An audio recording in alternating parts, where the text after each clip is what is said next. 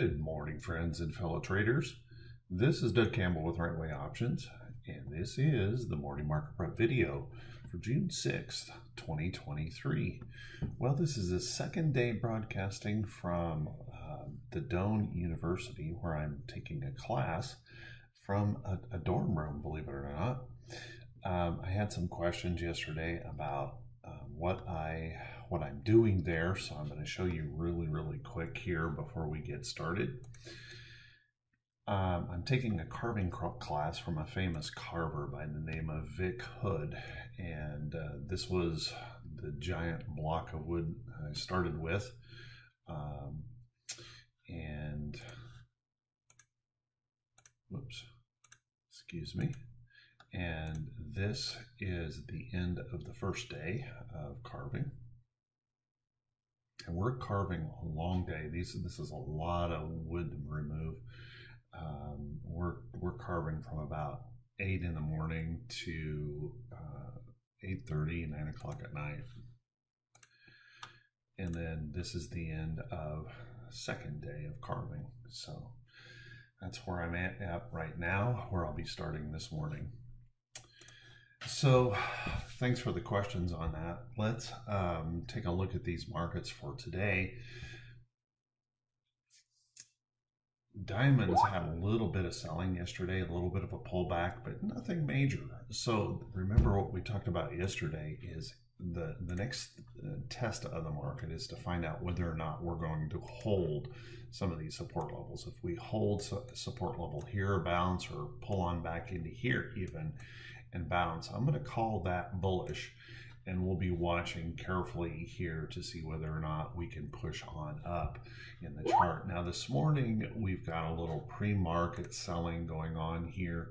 Nothing major, um, just a little bit of a pullback here this morning. Um, we've got Asian markets last night were mixed, closed mixed overnight. Uh, European markets are down across the board this morning with some concerns um, after um, Asian market, or excuse me, Australia raised rates and um, just some overall pullback um, issues. We've got bond yields moving slightly lower here this morning. That may take a little bit of pressure off of things. And then if you caught some of the news, there's some new banking regulations coming in that's going to require possibly some really big increases in reserves for them, adding some additional pressures. So, um, if the diamonds were to find some bullish activity here this morning, I would look for a retest of this um, price area right in here to see whether or not we can push up and test that area. If we break through there, well, I think there is that possibility that we're coming up here to test this major line of price resistance in the chart if the Bears were to find inspiration today and continue to push um, on down, I'm going to come right down in here. You notice this support area in the chart kind of runs across in this area holding. So I'll look for a retest down in there. Now that creates a little bit of a problem because that would be um, maybe one of the first failures of a trend line here. But I don't think it's major if um, we hold um, at the bottom of that candle or somewhere in that range along that support area because that's where we can bounce. If we take a look at our technicals here um, in these charts, well, you can see we're still above our 50-day moving average here in the diamonds. So this pullback is just a normal pullback to the 50-day moving average. We'll see if we can hold in there as we move forward. Let's take a look at our SPY. SPY as you can see also um, pulling back just a little bit yesterday. Nothing major here at all. Uh, as a matter of fact, very benign pullback in the chart. So if the bears were to continue pushing back, about the only support we have is the bottom of that candle on Friday, or we pull back into this area here, which would obviously be a very painful pullback here in the market. So watch that carefully. If the bulls find inspiration, well, once again, I'm going to suggest that we push right up in here at this level in the chart and uh, keep going. Remember, we continue to have this upside trend going on here in the SPY. So there's nothing in these charts that are bearish here on the on the SPY. Um, our technicals here are extremely bullish. Uh, if there was anything to be said here, maybe just a little bit parabolic on that move on Friday, needs a rest or consolidation. But other than that, very bullish chart. If we were to take a look at our QQQ, well, QQQ remains quite bullish, and um, we had some news yesterday on um, Apple uh, new VR set. Um, didn't really move the stock, but we'll we'll have to keep a close eye on that as it goes forward. But right now, just a little bit of resting consolidation in here on the QQQ. Now, we did have Asian markets. The uh, Hong Kong was down last night, a little bit of pressure there. So I wouldn't be too surprised. We're, we're so overly extended here in the NASDAQ, particularly on the big tech stocks. If they just rest, this index should rest a little bit. But any rest or pullback into this support area here or above this trend right here I think is bullish. So I think we could we could rest all the way out into here and still contact that upside trend. No harm, no foul. But it may be requiring just a little bit of a pause here. And one of the things we do have to think about is we're going to be facing an FOMC uh, next Wednesday. Um, so there could be a little bit of uncertainty about how um, a rate increase or a not rate increase is going to affect the market. So watch carefully. If the bulls were to find inspiration here on the day, well, I'm going to continue to say, well, here, let me just leave that there and back this up. I think maybe we come back up here and we test these resistance levels in the chart. And that's a fairly significant resistance level if we can push on up through there. Let's take a look at our Russell the old IWM, broke through that resistance up there. And remember, I was going to keep that turned red until we make a proof that we can hold it as support. And that pullback here in the chart um, yesterday showed that, well, maybe a little bit too much too soon on Friday, and we pulled back below that level. And we're continuing to see just a little teeny tiny bearish pressure here this morning. So if those uh, bears were to continue, I'm going to suggest a retest of that low of the Friday candle. And if that were to fail, then we're probably pushing just a little bit lower. You can notice right in here, we've got some price support through this area of the chart. So watch that um, as a price support level. If the bulls find inspiration today, well, let's look for a retest of that um, Friday candle high to see if we can break through and hold that price support in the chart. Now, one thing we do want to keep in mind is we have this little bit of an uptrend with that higher low starting to happen. So it is entirely possible that IWM could rest all the way out to here or even pull back into here and still hold on to that bullish upside trend. Let's take a peek at our VIX. Our VIX really didn't do much of anything yesterday with that pullback. No fear in the market. We continue to stay kind of in this complacency zone here. So if uh, the bulls were to uh, get excited here today, I think then uh, our only place to go is, is um, on down, and we're starting to look at areas down here in the um, 10s and 11s, which is a, an extreme area of complacency in the market. If the bears were to find inspiration, well, once again, we might probably pop up in here we're going to retest this 15, 16 handle area of the chart. If the bears can push on through that, well, we're back up here in this trade, this range, uh, somewhere between that uh, 15 and 18 trading range in the chart. Let's take a look at our T2122. Our T2122 indicator, give me just a second. remember, uh, sound is probably different. I hope everything is okay. You guys are hearing well. And the um, I'm working from a single screen, so I'm um, kind of clicking around an awful lot here. So hopefully that's not creating any issues for anyone. If we take a look at um, or T2122, although we pulled back yesterday, this wasn't a major pullback at all, as you can see in the chart. We've come back down into a little bit of a price support area of the chart and kind of hanging in this area, but it was a relief. So if the bulls find inspiration today, then we might have that opportunity to push back up here into that um, bearish reversal zone of uh, T2122. But if the bears continue to find that um, that inspiration today, uh, pull back all the way down into here would be possible. Now, keeping in mind, we've held a couple of times here recently, right around that 50, that mid middle of the road. So if we were to rest or pull back into that uh, middle of the road, um, as we kind of wait on some additional data, th- that might be um, a reasonable place to go. So keep a close eye on that. A little bit of rest, a little bit of pullback, not not terrible. If we take a look at our um, T2108, our percentage of stocks holding above our 40-day moving average, as you can see, just pulled back ever so slightly yesterday. No harm, no foul here at all. So looking at this, you know, 48, 49% of the stocks holding above their 40-day. Got some price support in here. So this is just a little resting pullback. If we can hold in here, those bulls can find inspiration. Well, maybe we push on through if the Bears find inspiration and we push back down in there, maybe there's a little bit more question that would come into the market. But remember, we've got some support underneath that level as well. If we take a look at our T2107, T2107, also just a little teeny tiny pullback yesterday. Nothing really going on here of major consequence. Um, holding some support, you can see still holding that uh, break downtrend break here in the chart. So we're looking pretty good. If we had a little bit more bearishness and we broke that down you can see where that could raise a little bit of concern you know right there around 43% of the stocks holding above their 200 day you start to raise a little bit of question on folks if we were to drift back down into the 30s. But remember, there is a price support under there if we do drift down into that area.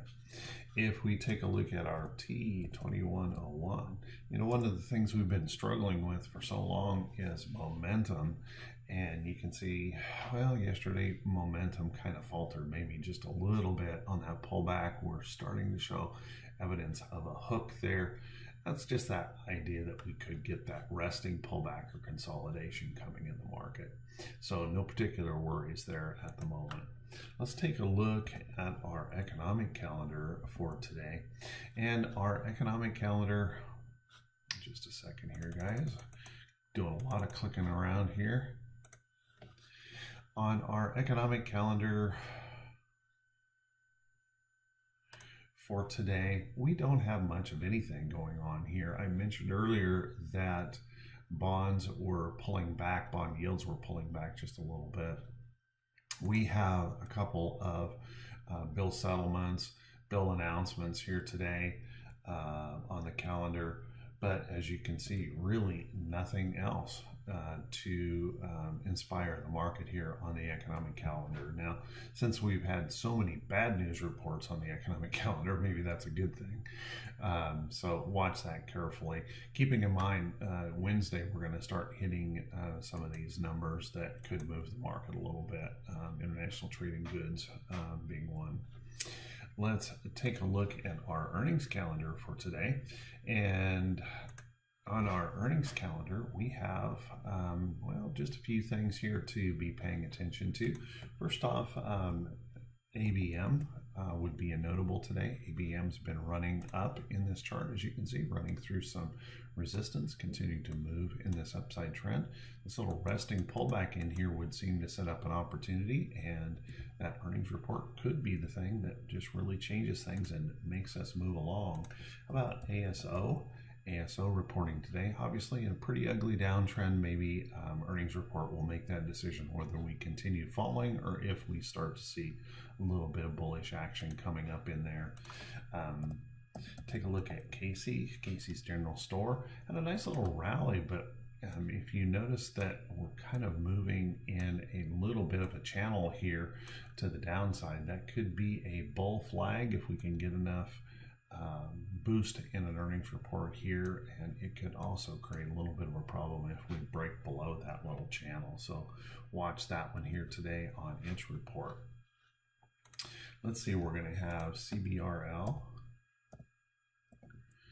Cracker barrel action, obviously very bearish chart, not much going on there. Could make a decision on a change if that can get um, um, well, a good report would would uh, maybe finally move that one up a little bit. Um, let's go to CEIN. CEIN also reporting, whoops, little dyslexia there, CIEN. Um, pushing up here, um, really nice as you can see, um, big pop here in the pre-market. Nice little pattern there heading into the earnings report, but I would watch that resistance in the chart. Could play, still place a lid on uh, that chart. Let's take a look. Um, we've got uh, Dave and Buster's that will be reporting today. Obviously, in uh, quite a downtrend here and um, trying to come into some price support. We'll see if we can get enough boost here in that chart to break that downtrend. Let's look at bear with me here, guys. I apologize. GIII, nice pop here this morning on its earnings, moving up nicely, breaking through this resistance level. Watch the resistance level above. Looking good there this morning. Let's take a look at Momo.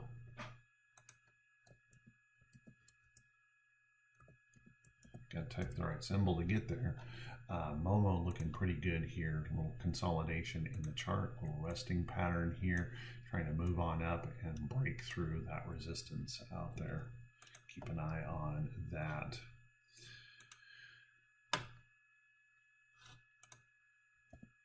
Got Smuckers here this morning. Ooh, Schmuckers.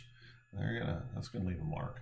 Um, big, ugly um, pre-market sell-off here on their earnings report, failing at a price resistance. Um, we'll want to watch this price support in here, but obviously Schmucker's not feeling so good this morning.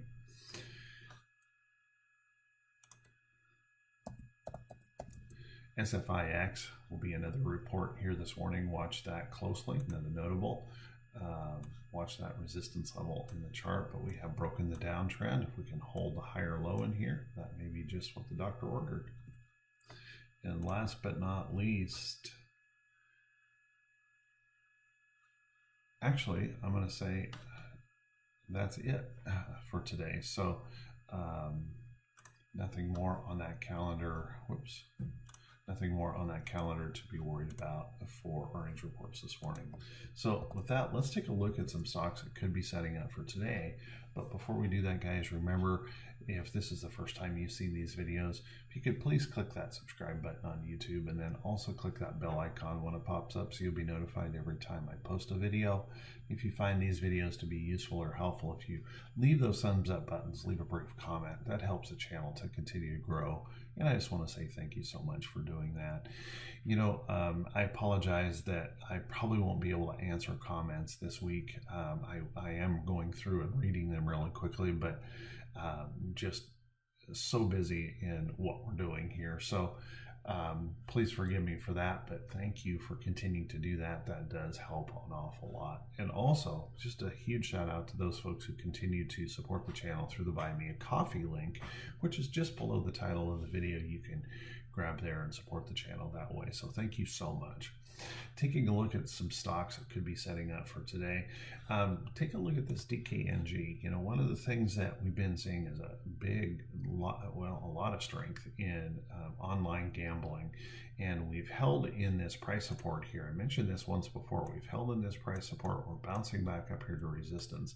I'd be watching this area here, particularly if we pop out and hold um, we could have a nice move here in DKNG soon if that can follow through and break through that resistance.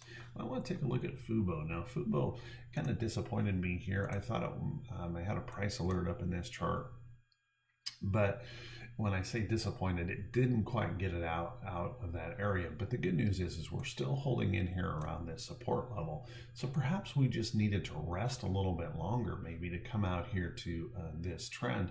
So I would watch this in here. If this consolidates right up in this area and holds, I would still look for that opportunity that that could move on through.